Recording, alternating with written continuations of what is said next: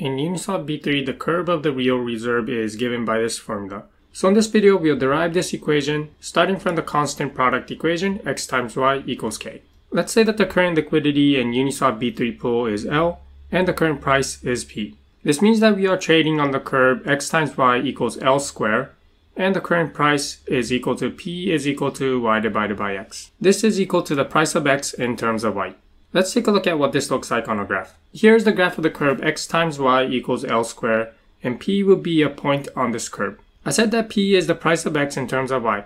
Let's see why this is. We'll say that the horizontal line represents the amount of token X inside the pool, and the vertical axis represents the amount of token Y in the pool. Starting from the current price P, if the amount of token X inside the pool decreases, then this will shift the point, let's say to P of B. The amount of token X is decreasing, so along this curve, we move the price to the left. Token X became more expensive. On the other hand, starting from the current price P, if the amount of token X increases, then the point P will shift to the right. And notice that the price has decreased from P to P of A.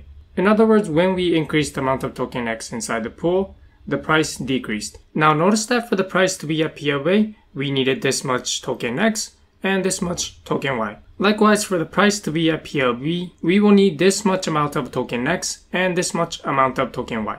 However, to move the price P to P of A or from P to P of B, we don't need these amount of tokens. The actual amount of tokens that is needed is less than the blue lines. For example, to move the price from P to P of A, the amount of token X that we need is highlighted in orange. This much amount of token X will come in. In return, this vertical orange line amount of token Y will go out.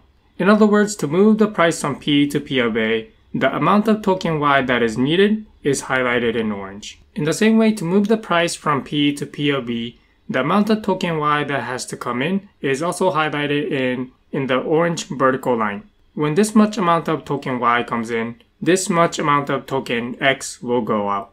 The orange horizontal line that you see over here is the amount of token X that will actually go out. In other words, to move the price from P to P of B, the amount of token X that we need is highlighted in this orange horizontal line. To summarize, in Uniswap V2, to be at the price P of A, then we would have needed this much amount of token Y and this much amount of token X. And to be at price P of B, we would have needed this much amount of token Y and this much amount of token X. However, to cover the price range from P of A to P of B, the actual amount of tokens that we need is less. The actual amount of tokens that we need to cover P to P is highlighted in orange. This much amount of token X and this much amount of token Y. To derive the curve for the real reserve, we translate this blue curve over to the left and to the bottom. This orange curve is the curve for the real reserves. Since this orange curve is a translation of the blue curve to the left and to the bottom, it has the same curvature as the blue curve. Starting at the current price P, at P this much amount of token Y has left the pool. So on the orange curve, we want to match P so that the amount of token Y is 0 and all of the tokens are in token X. Likewise, if we go from price P to P of V, then this much amount of token X has left the pool. So when the price is at P of V, we want all of our tokens in token Y. Let's find out the equation for this curve. What is the curve of the real reserves? The curve of the real reserves between the price range P of A and P of B is given by this equation x of r plus L divided by the square root of P of B times y bar plus L times the square root of P of A. And this must be equal to L squared.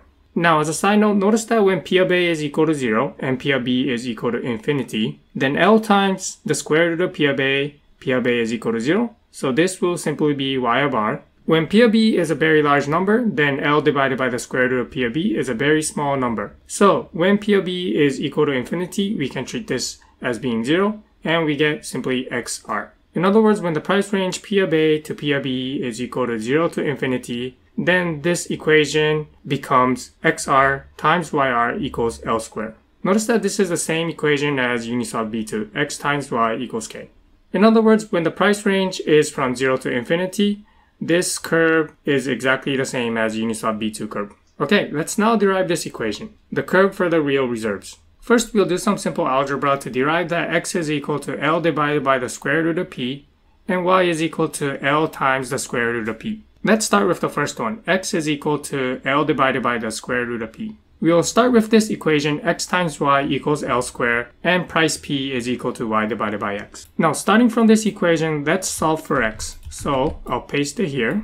x times y equals L squared. Dividing both sides of the equation by y, we get x is equal to L squared divided by y. This is equal to, we know that P is equal to y divided by x, so y is equal to P times x. So we replace this y with p times x. Okay, so let's simplify this equation. x is equal to L squared divided by p times x. x is equal to L squared divided by p times x. Let's multiply both sides of the equation by x. Multiply the right side of the equation by x, and the x on the bottom disappears. Multiply by x on the left side of the equation, and we get x squared.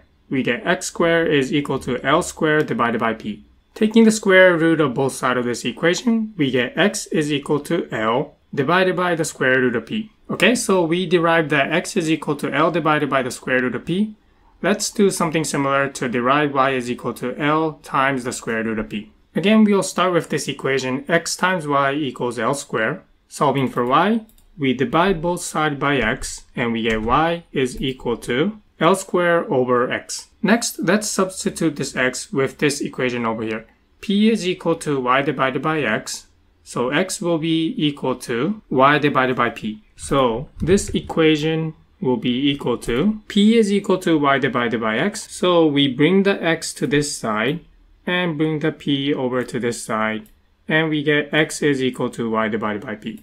And we'll substitute this x with y divided by p. Okay, this will be equal to, we bring the p up to the top, and this will be equal to L squared times p divided by y. Okay, so let's simplify this equation. y is equal to L squared times p divided by y. y is equal to L squared times p divided by y. So let's multiply both sides of the equation by y to remove this y on the right side of the equation. So I multiply both sides of the equation by y.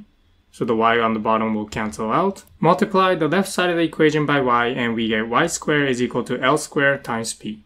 Taking the square root of both sides of the equation, we get y is equal to L times the square root of p. Okay, so now that we can rewrite x and y in terms of the liquidity L and the current price p, let's now derive the equation for the real reserves. We'll rewrite x and y in terms of the real and the virtual reserves. x is equal to the real reserves x of r plus some virtual reserve x of v.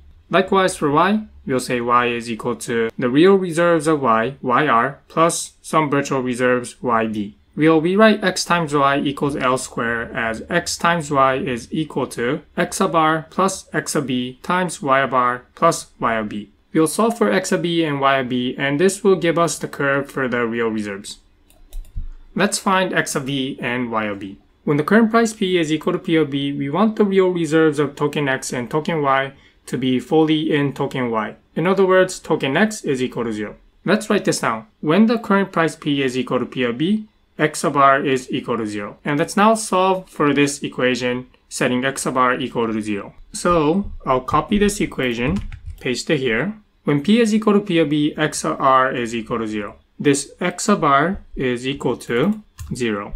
Let's simplify this equation. x sub r is equal to 0, so the first part of the equation, we're left with x sub b. The second part remains the same, so I'll just copy this and then paste it here. This is equal to L squared. Okay, let's rewrite this equation. So I'll copy this, paste it here, and I'll bring this part of the equation over to the right. x sub b will be equal to L squared divided by y of r plus y b. Now if we scroll up, we said that y is equal to L times the square root of p. So let's replace this part of the equation with y is equal to L times the square root of p. To this yr plus yb, we will apply the equation y is equal to L times the square root of p. Also notice that we said that p is equal to p of b, so L times the square root of p is equal to L times the square root of p of b. So this equation is equal to, we'll substitute this with L of P of B. So I'll remove this and then copy L times the square root of P of B and then paste it here. I forgot to add a power of 2, so I just did it right now. Okay, once we have this equation, we can cancel out the L on the bottom and L on the top. I'll cancel out the L square on the top and L on the bottom, and we're left with L. Let's clean up this equation. So this equation will be equal to, on the bottom, the L is cancelled out, and on the top we're left with L. And we have solved for x of b. x of b is equal to L divided by the square root of p of b. Okay, let's solve for y of b. We'll use a similar argument that we did to derive x of b to derive y of b. When the current price p is equal to p of a, we want the actual amount of tokens inside the pool to be fully in token x. In other words, the amount of token y inside the pool is equal to 0. When the current price p is equal to p of a, the actual amount of token y, y of r, is equal to 0. Okay, so let's rewrite this equation substituting y of r for 0. So I'll copy this equation, scroll down, and then paste it here. y of r is equal to 0, so I'll say this is equal to 0. And let's rewrite this equation. The right part of the equation remains the same. y of r is equal to 0, so we're simply left with y of b. And this is equal to L squared. Okay, let's solve for y of b. Starting from this equation, I'll move over this x of r plus x of b over to the right. So I'll take this, paste it here, and then say y of b is equal to L squared divided by x of r plus x of b. Now if I scroll up,